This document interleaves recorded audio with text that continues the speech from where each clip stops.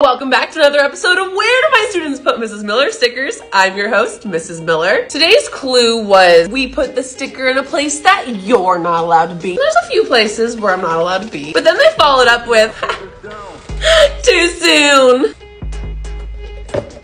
And I knew exactly where that sticker was. Seatbelts, everyone!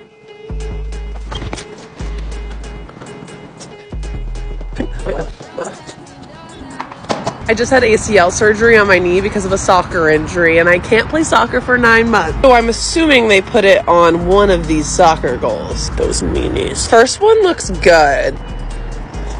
Y'all, I'm literally cracking up. Boom. I propped the door open this time so I didn't get locked out.